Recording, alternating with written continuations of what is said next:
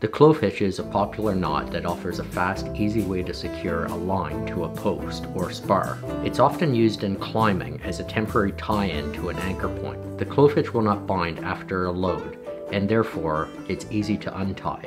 The clove hitch is known to fail and be insecure when under a very high load. There are a lot of other knot tying options for this situation.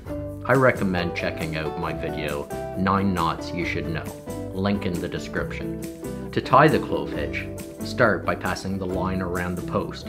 Pass it around the post a second time going in the same direction, but making sure that the second wrap goes across the loaded line from the first wrap.